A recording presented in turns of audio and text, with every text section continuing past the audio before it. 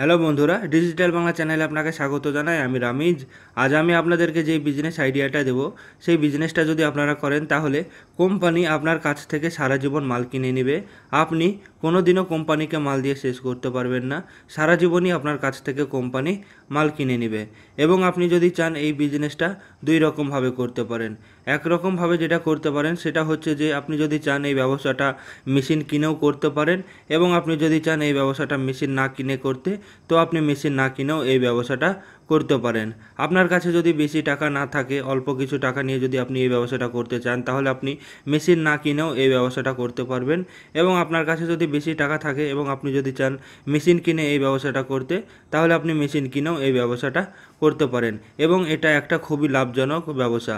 আপনি যদি মেশিন কিনে ব্যবসা করেন, তাহলে সেখানে একটু লাভটা বেশি হবে এবং মেশিন যদি না কিনেন, তাহলে সেখানে একটু আপনার লাভটা কম হবে। তো চলুন বন্ধুরা, জেনে নেওয়া যাক তাহলে কী সেই বিজনেস আইডিয়াটা তবে ভিডিওটা শুরু করবার আগে আপনারা যদি এখন পর্যন্ত ডিজিটাল বাংলা চ্যানেলকে সাবস্ক্রাইব না করে থাকেন, তাহলে সাবস্ক্রাইব অবশ্যই করবেন এবং তার সঙ্গে বেলাইকেনকেও ক্লিক করে দেবেন আর ভিডিওকে লাইক অবশ্যই করবেন। আজকের বিজনেসটা করবার জন্যে সর্বপ্রথমে আপনাকে কিছু ভাঙড়িওয়ালার সঙ্গে যোগাযোগ করতে হবে।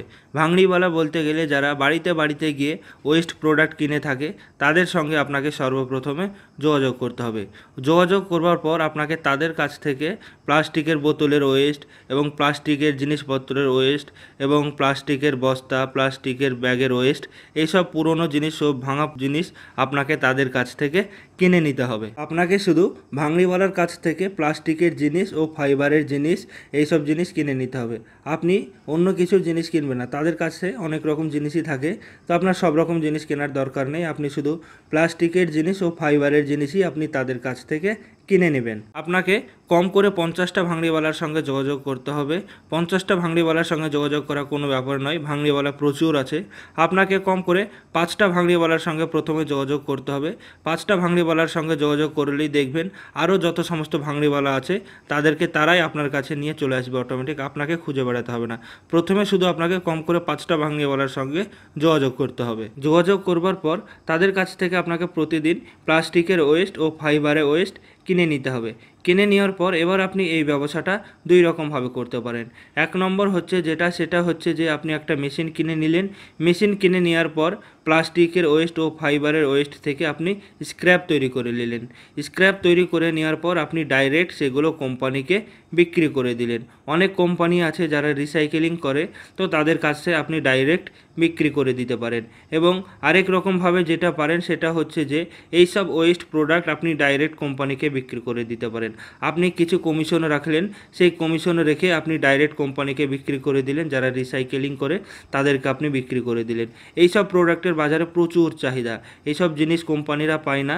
তো আপনি চাইলে এই দুই রকমভাবেই এই ব্যবসাটা করতে পারেন। আপনি যদি মেশিন কিনে এই ব্যবসাটা করতে চান তাহলে আপনাকে আশি থেকে নব্বই হাজার টাকার মধ্যে একটা মেশিন চলে আসবে। সেই মেশিন আপনাকে কিনে নিতে হবে এবং তার ক্যাপাসিটি থাকবে পঞ্চাশ কেজি পার ঘণ্টা। মানে এক ঘন্টায় আপনি পঞ্চাশ কেজি স্ক্র্যাপ তৈরি করে নিতে পারবেন। তো মেশিন কিনে ব্যবসা করলে এই একটা মেশিন কিনে নিতে হবে। মেশিন কেনার পর এই মেশিনের সাহায্যে আপনাকে প্লাস্টিকের স্ক্র্যাপ ও ফাইবারের স্ক্র্যাপ তৈরি করে নিতে হবে। তৈরি করে নেওয়ার পর আপনি সেগুলো কোম্পানিকে বিক্রি করে দিতে পারবেন। এবং আপনি যদি চান মেশিন না কিনে এই ব্যবসাটা করতে, তাহলে আপনি ডাইরেক্ট এইসব জিনিস কিনে নেওয়ার পর আপনি কোম্পানিকে বিক্রি করে দিতে পারেন। প্রচুর কমিশন থাকবে, সেই কমিশন রেখে এবং লাভ রেখে আপনি কোম্পানিকে বিক্রি করে দিতে পারেন। মেশিন বিভিন্ন রকমের হয়ে থাকে। বিভিন্ন রকম ক্যাপাসিটি ও কোয়ালিটির ওপর নির্ভর করে মেশিনের দাম বিভিন্ন রকম হয়ে থাকে। তো আপনি যদি একটা নর্মাল মেশিন নিতে চান, তাহলে সত্তর থেকে নব্বই হাজার টাকার মধ্যে একটা নর্মাল মেশিন পেয়ে যাবেন। তার ক্যাপাসিটি হবে পঞ্চাশ কেজি পার ঘণ্টা। এবং এর থেকেও বড় মেশিন আছে, যার একশো কেজি পার ঘণ্টা, দুশো কেজি পার ঘণ্টা ক্যাপাসিটি থাকে। সেগুলোর মেশিনের দাম হচ্ছে দুই লক্ষ টাকা, তিন লক্ষ টাকা। তো প্রথমের দিকে বড় মেশিন নেবার দরকার নেই। একটা ছোট মেশিন সত্তর থেকে নব্বই হাজার টাকার মধ্যে পেয়ে যাবেন। সেই মেশিন নিয়ে চাইলে এই ব্যবসাটা করতে পারেন।